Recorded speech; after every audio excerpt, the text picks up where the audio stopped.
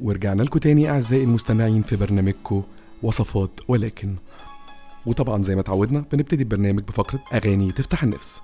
ومعانا أول اتصال تليفوني نقول ألو؟ السلام عليكم. وعليكم السلام. كنت أحب أعمل ريكوست اتفضل طبعا. يعني طلب يعني أكيد. أغنية الفتى الرابر المصري الرائع أبو الأطباق. إيه أبو الإيه؟ أبو الأطباق. لا. هذا الرابر المفضل حجي. لا أنا ما أسمعش عنه أبو الصراحة. الأطباق. أغنية رائعة عن الفتة المصرية. آه طب آه تدري تعرف؟ آه، تدري تعرف؟ آه. إيه من الشامية ذا ون وذ يو نو ذا همس هندور عليها في الإعداد؟ طيب ممكن. هي موجودة. طب خلاص نحب نسمعها على ضمانتك. أنا ما سمعتهاش قبل كده.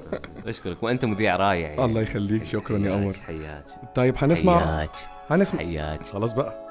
طب هنسمع أغنية آه، أبو الأطباق أغنية الت- الفتة. اسمها كده. طب طب نجرب. خير. طبعا.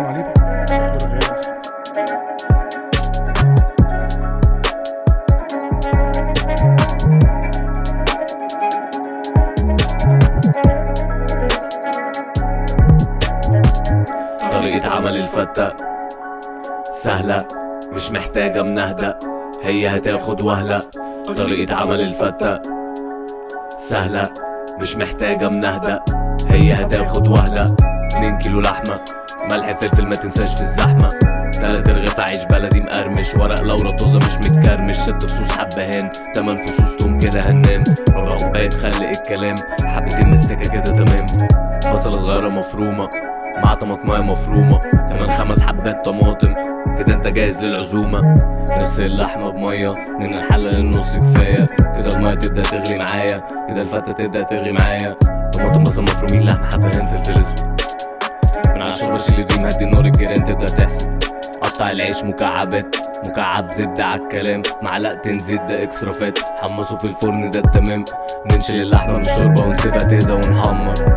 كوبايتين ونص رز لو مش بتحبه بتحور زيهم شوربة يدوا باور في الفتة بقنن عشان الطعم يجنن أنا مش عارف ده ولا صور اسمع مني الوصفة وتنور. لو أنت على الفتة بتدور. طريقة عمل الفتة سهلة مش محتاجة منهدة هي هتاخد وهلة. طريقة عمل الفتة سهلة مش محتاجة منهدة هي هتاخد وهلة. شوح تمن فصوص توم مفروم مكعبين زبدة الصلصة تقوم. تلات معالق زيت خلي ربع كوباية. قلبه سيبها تتسبك تبقى حكاية حط ربعها على العيش واصحى معايا. الشوربة على العيش اديها تقلباية وغطي. الرز استوى على النار نوطي فوق العيش المبلول هنفضي. بصلصة ولحمة محمرة هنغطي. أتمنى أنت تكون اتبسطت. أتمنى تكون أنت اتبسطتي